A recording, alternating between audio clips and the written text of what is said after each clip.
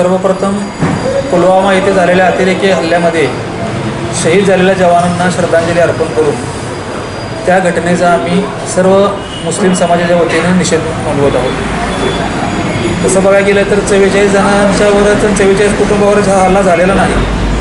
तर हा हल्ला जो झाला आहे अतिरेकीने जो भॅड हल्ला केला आहे तो तमाम सव्वाशे कोटी भारतीय जनतेवर झालेला आहे. आणि त्या हल्ल्यामुळं भारतातील असणारा सुज्ञ नागरिक ज्यानं भारत मातेवर भारत देशावर प्रेम केलेलं आहे तो सर्वजण चवताळून उठलेला हा हल्ला करताना ज्या पद्धतीनं पूर्वकल्पना देऊन हा हल्ला झाला त्याच्यानंतर सुद्धा आपली सुरक्षा यंत्रणेनं त्याच्यावर कोणती उपाययोजना केली नाही. ह्या गोष्टी जरी आपल्याला विचार करण्यासारख्या असल्या सुरक्षा यंत्रणेवर संशय आणणाऱ्या असल्या तरीसुद्धा झालेला हल्ला किंवा हल्लेखोर यांच्यावर कठोर कारवाई होणे ही तमाम भारतीय जनतेची इच्छा आहे.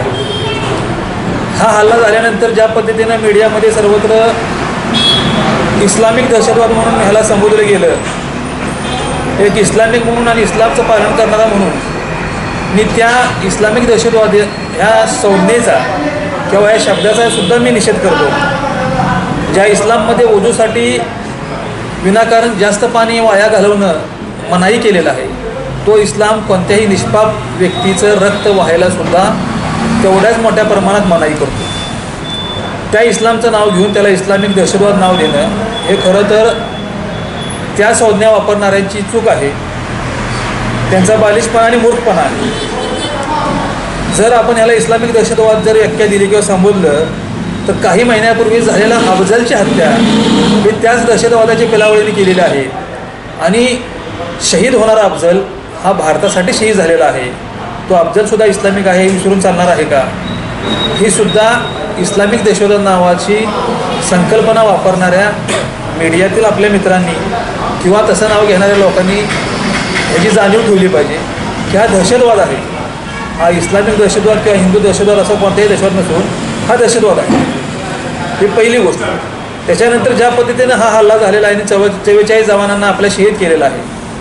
सव्वाशे कोटी जनतेपैकी मी पंचवीस कोटी असणाऱ्या मुस्लिम बांधवाची एक भावना आपल्या मीडियाच्या माध्यमातून ज्या दहशतवादी कृत्य करणाऱ्या आहेत त्यांच्यापर्यंत पोहोचू इच्छितो की ह्याच भारतीय मुसलमानांनी त्याच पाकिस्तानच्या विरोधात शहीद अब्दुल हमीद दिलेला आहे.